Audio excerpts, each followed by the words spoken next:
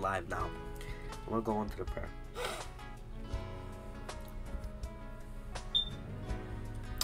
Father God, we come before you, Lord, and I'm asking, Lord, that these people receive the message with joy. And if they receive it with joy tonight, Father God, don't let the devil steal their joy. In Jesus' name, Lord, I'm praying, Lord, that whatever I wanted to say, I throw it out, Father God. But I'm welcoming your Holy Spirit to speak through me, Father God. I swallow my words, Father God. In Jesus' name, Lord, have your way tonight. And bless the people. In Jesus' name. Amen. Okay, guys. This is the message tonight. James chapter 2, verse 14. 14. Faith without good deeds is dead. I can end the message there.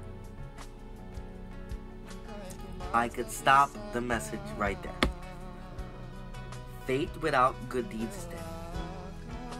Verse 14 What good is it, dear brothers and sisters, if you say you have faith but don't show it by your actions? Can that kind of faith save anyone? Suppose you see a brother or sister who has no food or clothing, and you say goodbye and have a good day. Stay warm and eat well. But then you don't give that person any food or clothing. What good does that do? So you see, faith by itself isn't enough unless it produces good deeds it is dead and useless.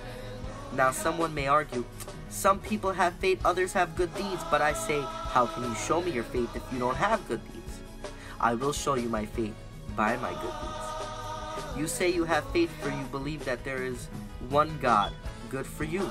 Even the demons believe this, and they tremble in terror. How foolish can't you see that faith without good deeds is useless? Don't you remember that our ancestor Abraham was shown to be made right with God by his actions when he offered his son Isaac on the altar? You see, his faith and his actions worked together.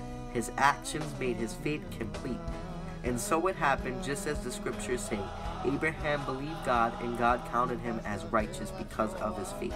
He even called a friend of God. So you see, we are shown to be made right with God by what we do, not by faith alone. Uh, excuse me, guys, but this is what the Bible says, and I have to repeat every word. Rahab the prostitute is another example. She was shown to be right with God by her actions when she hid those messengers and sent them safely away by a different road. Just as the body is dead without bread, so also faith is dead without good works. So, guys, this is the message tonight, and I want you to pay attention and I want you to apply it. Your faith is useless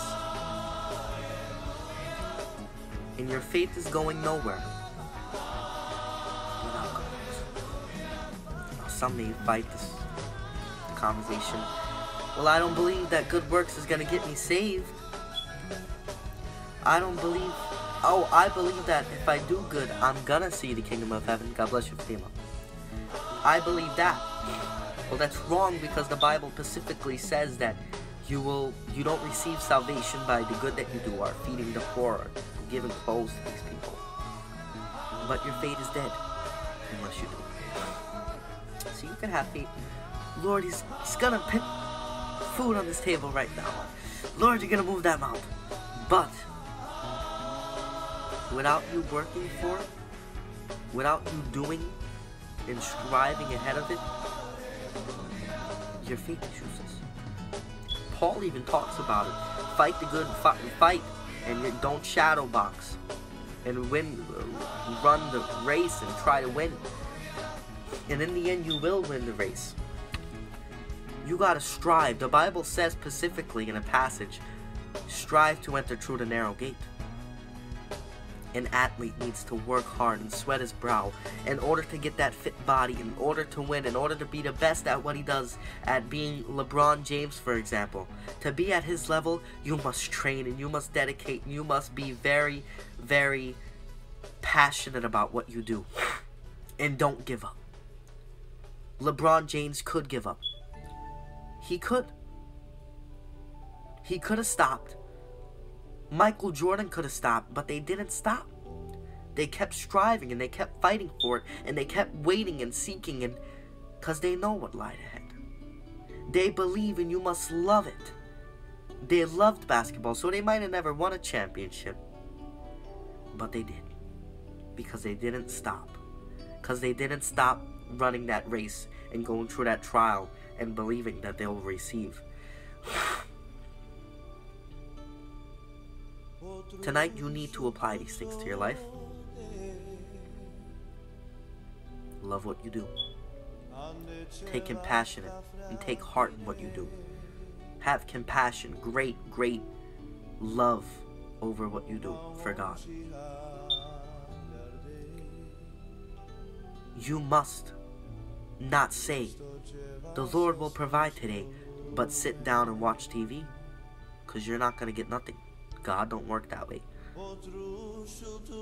Like I said the other night, if there's one thing we learn, you're worshiping the wrong God. Only the devil works that way. You must strive. You must love him. You must work. See, the Bible teaches us that we could move any mountain, but it only comes through prayer and fasting. You gotta work to fast. You gotta strive for it. In the end, you will receive it all. I'm asking you tonight. And I'm praying in Jesus' name that you show your good works. If you see someone poor on the street, if you see someone that's Mila, don't say have good, just have faith or believe. Because you're not showing your good deeds. Now, it won't get you saved by doing good, but it's just the Holy Spirit. Pray that the Holy Spirit will make you want to do good. Because it only comes from God. I'm praying in Jesus' name that you accept it. Give someone that clothes that you might have. Give someone, show the love. If there's one thing we've learned to wash the disciples' feet, wash the believers' feet, love one another. I thank God for you, and this is what I say. This isn't just a message, this is something that you need to apply. And everything I've been teaching you is something that you need to apply. Show your good works. Show that you have faith by doing good. Because if you don't do good and just have faith, your faith is useless. You must pray, you must fast, you must love one another. You must give the needy clothes, you must feed the poor, you must do whatever you could to show your good work. Do whatever you could to show. The Bible says, let your light shine forth before man so they may see your good works and give glory to your Father who is in heaven. You must love. If someone asks for your shirt, give them your jacket too. Amen.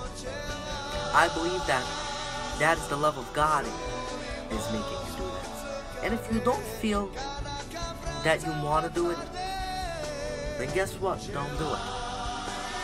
But tonight, I want you to pray that you will want to do it. That God will put it in your heart as a cop me like, I have to give him something. Guys, whenever I go to the Walmart, I'm not, bullshitting, but every time I when I when I see it I really God puts on my heart, I put a little change in for the little kids. You know, I donate. I feel bad. My father asked me one time when I was real young. I donated $20 for the thing. Five, six. No, well, don't do that one. I gotta donate to me for the little kids. Car. So he asked me in the car, what if they don't really donate it? What if they don't really give it to uh, give it to the children that are poor? May God knows. God knows that we tried. God knows in our heart that we wanted to give. That's all. Tonight, let it be in your heart. Tonight, give your lives to God. Do it out of love. Don't do anything with Body. Mila, feel bad. Show your good works. Your faith is useless. You must strive. You must work. You must sweat your brow. And only with God's help, we're not alone when we do it.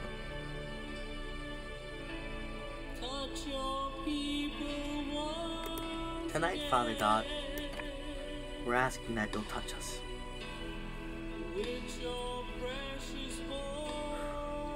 tonight, Lord, that you'll put it upon our hearts to give to the needy, Father God. Help us, Father God, to show our good works, because without good works, faith is useless. In Jesus' name. Amen.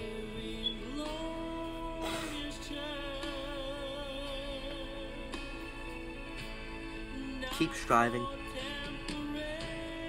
Keep giving. Don't stop. Be good to others. If you have that bread, if you have something, a pair of clothes or whatever it is, give it. And I believe tonight that the Lord put it upon your hearts. Tonight the message was to apply it. The Lord's gonna touch you again and put it upon your hearts to love one another. To have the same compassion that he had on the 5,000. 5,000 people were hungry, but he fed them. You're gonna have the same thing. You'll have the same heart. You'll feel the same Mila. I love yous, and I thank God for yous. Tomorrow night, come on and be blessed by God. Tomorrow night, you don't want to miss the message. I love yous, and I thank God for yous.